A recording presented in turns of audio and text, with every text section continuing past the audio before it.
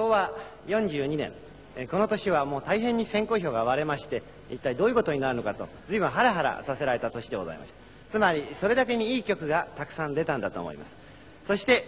大変そういう苦しい審議を重ねた結果ついに決定した大賞は初のグループサウンドでございます。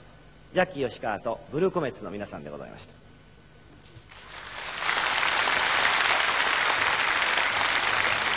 た。どうも。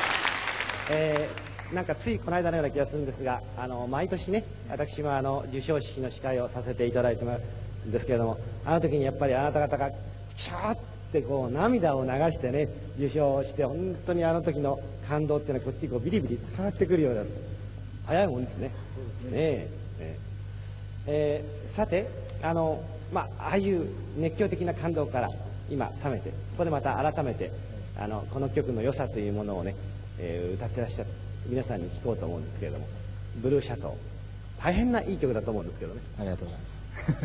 あのー、ていうかそのレコード大賞いただいてはそのいただいた瞬間にですねなんかそれでもうみんなでそのスタジオでブルーシャトーをみんなで合唱したんです。その時になんかああこの曲はやっぱりなんか自分で作ってもねなんかすごくいいなと思って。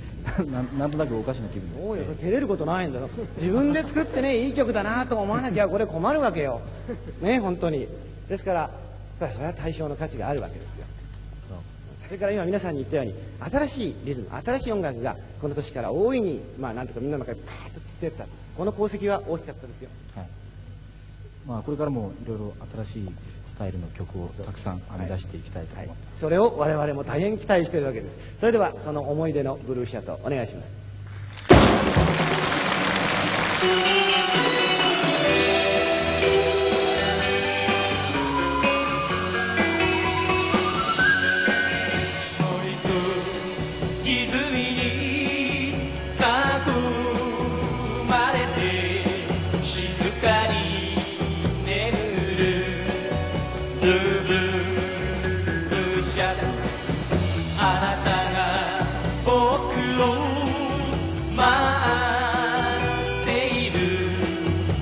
くて寂しい。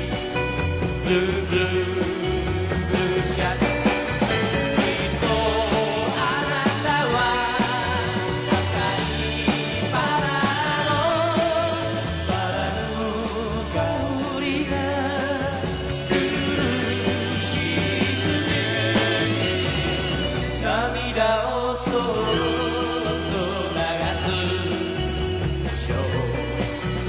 夜霧の